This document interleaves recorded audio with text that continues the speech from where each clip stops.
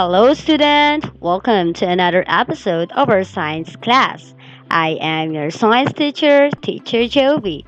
Today we will have a lesson about the plant growth factors. Plant growth factors. So we have number one, soil. Many plants need soil to grow their roots in. Many plants need soil to grow their roots in. Okay, so this is soil.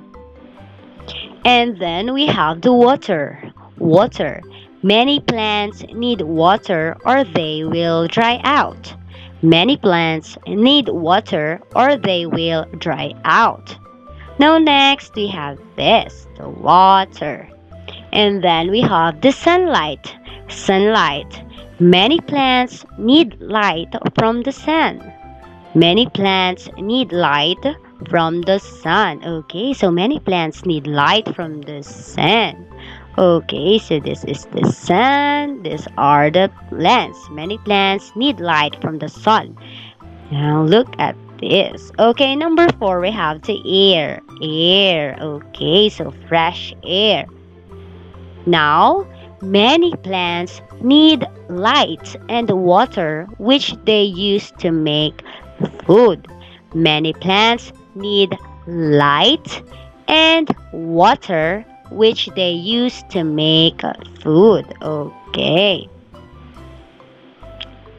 Many plants need light and water to make food. Okay, so can you remember? Okay, so many plants need light from the sun. Many plants need light from the sun. Next. Many plants need water or they will dry out. Many plants need water or they will dry out. Next, many plants use soil to grow their roots in.